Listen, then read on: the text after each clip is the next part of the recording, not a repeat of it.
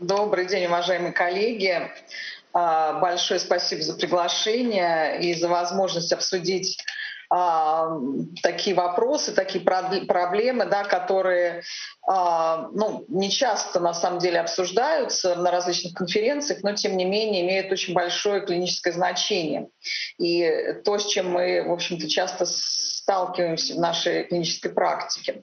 Итак, собственно, у меня сразу первый вопрос к аудитории. А как вот вы считаете, является ли злокачественный плеврит и астыты проявлением висцерального криза? Очень простой ответ и два а, возможности, очень простой вопрос и две возможности ответа, да или нет. Пожалуйста. Первый ответ – да, 72%. Второй – нет, 28%, соответственно. Хорошо, да, интересно. Спасибо. Я ожидала такой ответ, да. Ну, давайте попробуем все-таки разобраться более детально. Ну, сразу скажу, что, в общем-то, каких-то откровений не будет в докладе, да. Все то, что мы прекрасно знаем, это э, проблема, этот вопрос, он освещен э, достаточно давно, да. Ну, э, немного статистики. В целом злокачественные плевриты развиваются по примерно 15% больных всеми злокачественными злокачественными опухолями. И э, наиболее э, часто за развитие это, этого осложнения да, э, раз, отвечают как раз рак легких, рак молочной железы, больше половины случаев. И о, если брать, собственно, больных диссеминированным раком молочной железы, то плевриты развиваются тоже у достаточно большого процента больных, от 36 до 60 процентов, 5 по разным данным. И более того, у четверти больных, в общем-то, единственное проявление проявлением болезни является изолированный плеврит. Но э, в норме в плевральной полости, полости есть небольшое количество жидкости, как известно, да, оно необходимо для э, того, чтобы комфортно проходило трение листков плевры во время дыхательных движений. А, постоянно происходит процесс выработки плевральной жидкости и ее абсорбции, э, такой баланс постоянно поддерживается, но и э, когда эти процессы нарушаются, чаще всего это происходит за, за счет метастазирования непосредственно по плевре. Э, механизм до конца, в общем-то, не ясен, потому что иногда есть метастазы, но плеврита нет. Да, возможно, требуется продукция каких-то дополнительных секретомов, как их называют, в том числе, э, например, в последнее время обсуждается секреция повышенной экспрессии ИГФ, да, либо наоборот э, э, происходит непосредственно метастатическая обструкция лимфатических протоков, и наоборот а, абсорбция жидкости не происходит в достаточном количестве. Ну вот это самая такая частая проблема, и, собственно, то, что мы называем метастатическим плевритом, но бывают также другие э, причины, я очень кратко о них напомню, вследствие бронхиальной обструкции при пневмонии или ателектазе, э, вследствие системных э, эффектов да, при раке, это гипоальбуминами, гипотромбинами, да, или даже осложнения, связанные с лечением, и лучевой терапией, химиотерапией некоторые препараты вызывают плеврит. Да. Надо об этом помнить, но чаще всего, конечно, мы э, имеем в виду метастатическое поражение плевры.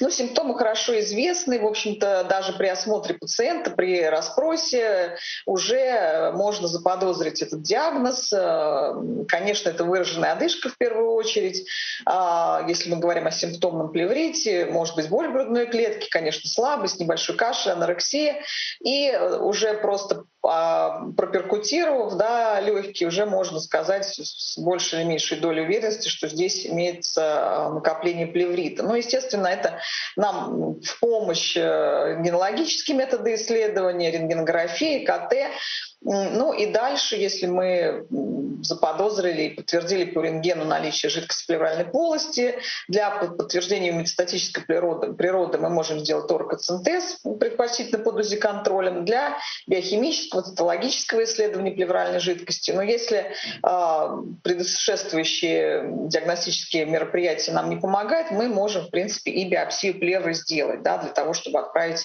материал на, в том числе, э, гистологическое иммуногистохимическое исследование. Ну вот типичная абсолютно рентгенологическая картина плеврита. А, по УЗИ очень хорошо да, видно большое количество жидкости плевральной полости. Очень удобно сделать разметку для торкоцентеза. Ну и по КТ, помимо жидкости, мы можем увидеть и э, поражение плевры, да, узелки по плевре. То есть все очень достаточно просто с точки зрения диагностики. Но с точки зрения биохимии э, метастатический плеврит является эксудатом, в отличие от трансудата, да, скажем, при сердечных заболеваниях.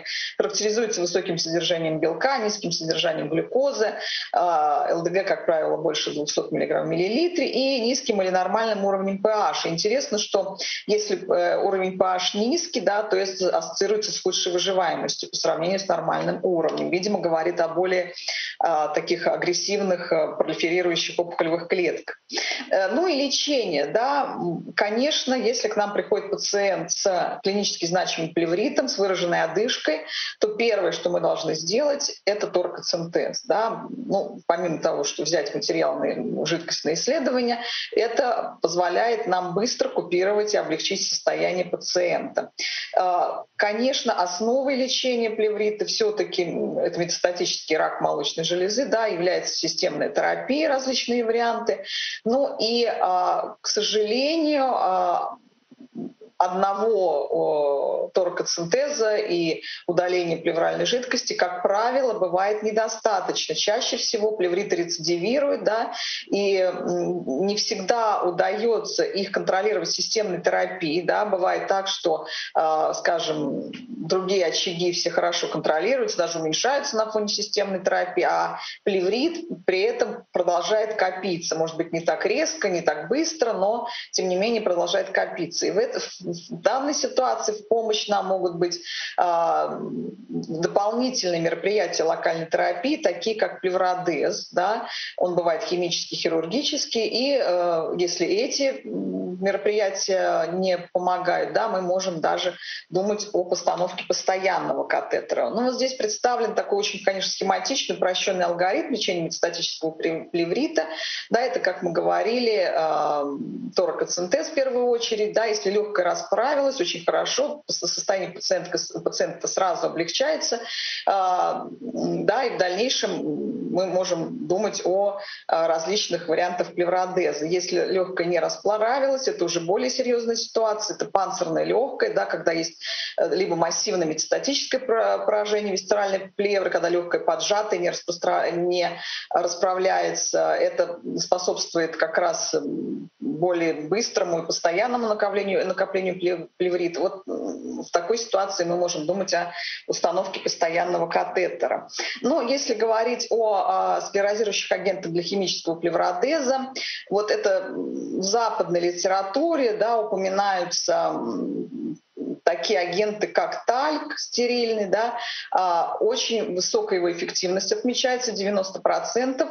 А, к сожалению, иногда возникает достаточно серьезные осложнения, да, это респираторный дистресс-синдром.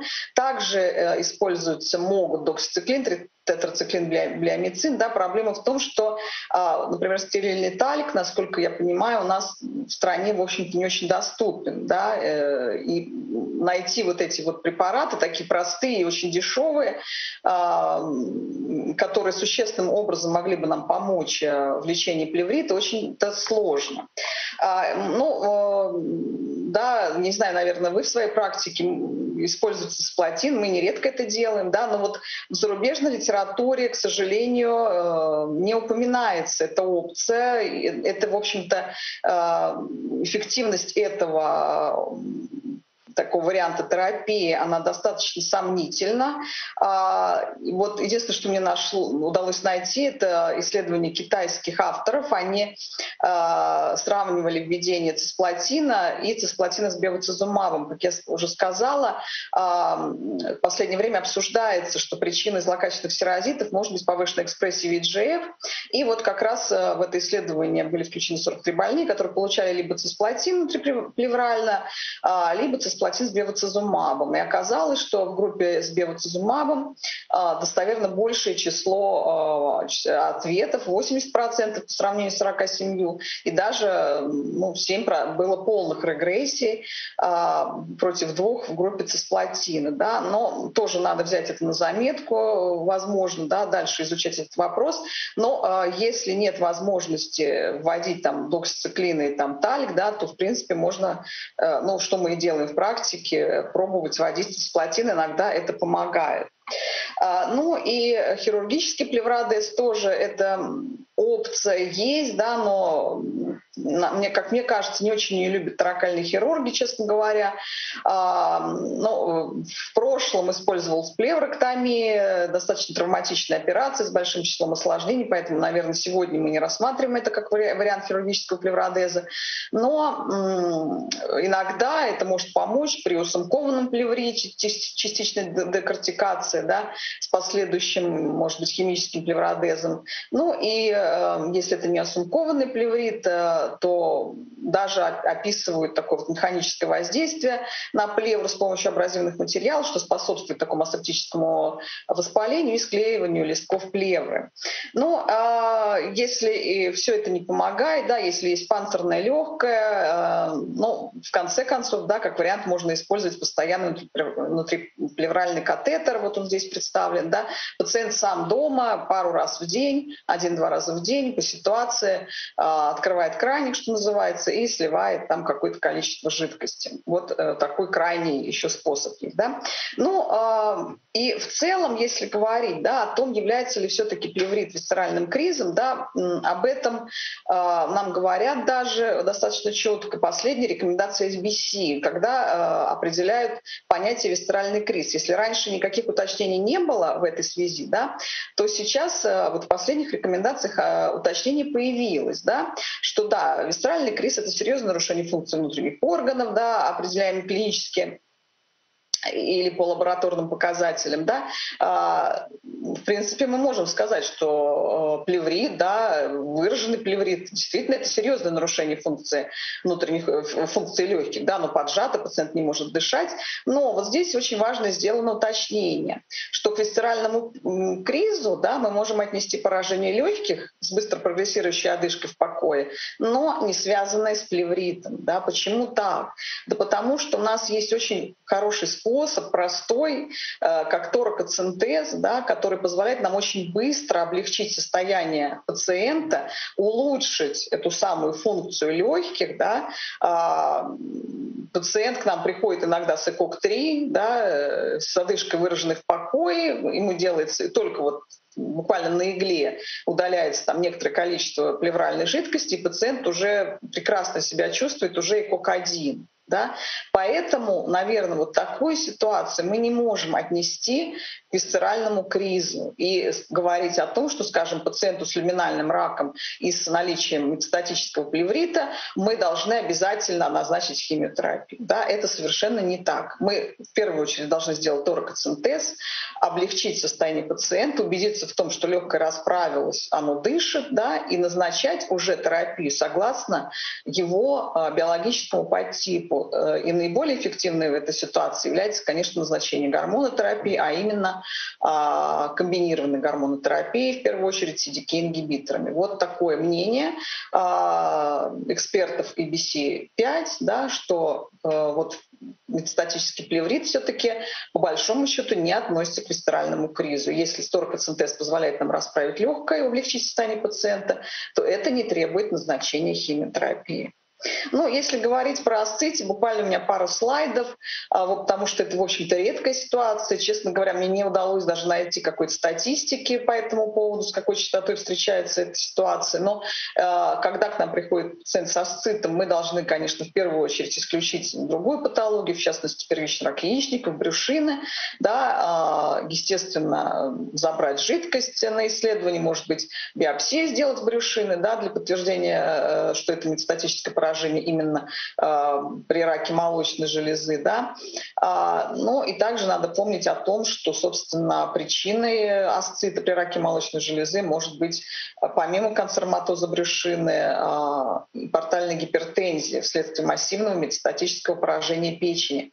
И вот в этой связи, мне кажется, вот эти две ситуации мы должны очень хорошо разделять. Да? Если канцероматоз брюшины по аналогии с метастатическим плевритом, с поражением плевры, плевры, да, как мне кажется, это не жизнеугрожающее состояние, потому что мы можем точно так же, а, как при плеврите, сделать лапароцентез, удалить это большое количество даже жидкости, облегчить состояние пациента и спокойно назначать ему ту системную терапию, которая ему показана в данной ситуации в большей степени, да, гормонотерапии, там, антихер-2 терапии и так далее. А вот если у нас имеется портальная гипертензия, да, действительно серьезное массивное метастатическое поражение печени, то это уже э, жизнеугрожающее состояние. Вот это как раз мы можем расценивать как висцеральный криз. И, в общем-то, второго шанса здесь у пациента точно не будет. Либо мы назначаем системную терапию с максимально быстрым ответом, э, к которым мы вот, ну, традиционно относим все-таки химиотерапию, да, хотя по частоте объективных ответов, а, скажем, комбинированная гормонотерапия не уступает химиотерапии, но вот традиционно считается, что все-таки а, ответ на химиотерапию наступает быстрее. Да. В данной ситуации, конечно, мы наверное, должны использовать э, вот, химиотерапию. Ну а э, все-таки эта ситуация достаточно рез, э, редкая, серьезная. Чаще мы встречаемся с концерматозом все-таки брюшины, если встречаемся со стытом при раке молочной железы. Как я уже сказала, на мой взгляд, по аналогии с плевритом, это не является жизнеугрожающим состоянием, потому что может быть купировано э, собственно, эвакуации этой жидкости. А, на этом у меня все, и я повторно задам тот же самый вопрос, который я задала в начале, но с небольшим уточнением все-таки, да, являются ли плевриты или иосциты именно обусловленные консерматозом, а, вот, э, плевры или брюшины, а, проявлением висцерального криза? Два ответа, да или нет. Спасибо. Но пока отвечает, у меня вот небольшой вопрос насчет э, привродеза. Какой э, вариант вы считаете все-таки и для больного, и для врача оптимальным вариантом привродеза? Ой, э, Владислав Владимирович, сложный вопрос. Сложный, потому что ну, мы, у нас просто недоступны да, такие эффективные и простые методы э, плевродеза, да, которые описаны в западной литературе, такие как тальк, да, а, вот мы как-то удалось нам с помощью наших торакальных хирургов найти доксициклин, мы использовали, да, а, я все думаю, ну неужели найдется таких вот таракальных хирургов, которые все-таки заинтересуются этой проблемой, да, например, и, э, скажем, попробуют как-то найти, я не знаю, там, найти этот тальк, закупить несчастный, да, там, простерилизовать его и попробовать его использовать, если описана такая высокая эффективность, 90%. Да, да. Да? Но сложный, сложный вопрос. То, что есть, какая есть возможность, ну, а хочу... что доступно, что называется, что доступно. Я хочу прокомментировать. Э, мы достаточно часто применяем э, плевродез, э, в том числе и тальковый, ну, и, наверное, считается да. наиболее оптимальный. Но единственное, что там болевой синдром, как правило, бывает. Да. Все-таки, а в принципе, и блямицин, и цисплатин, более того, у нас было исследование, мы использовали хирургические методы, аргоноплазменная коагуляция, лазеротерапия, электрокоагуляция. Ну, аргоноплазменная чуть получше была. А так, в основном, вот то, что касается, чтобы не госпитализировать пациента, это мы используем вот, так, э, как раз э, готов, э, готовы результаты голосования. Являются ли плевриты и асциты, обусловленные канцероматозом плевры брюшины, проявлением висцерального криза? Да, теперь 31, и нет 69%. То есть, ну, Александр, да, вы мне, мнение изменили. Да, рада, коллег. что удалось немножко убедить коллег. Я просто, знаете, поскольку вот первый раз услышала, что вы применяете тальковый плевродез, да, может быть, пожелание такое, какие-то устраивать мастер-классы для таракальных хирургов других учреждений, чтобы тоже могли этим пользоваться, потому что вот у нас, к сожалению, такой возможности нет. Э, вот просто большая просьба э, как-то обучать этой методике других, э, да, других учреждений. Да, да, конечно, и у нас такие возможности есть. Конечно, я думаю, что надо будет связаться и тогда обговорить этот вопрос. Спасибо. Потому что это у нас на регулярной основе все происходит, поэтому, конечно, поможем, чем можем. Спасибо.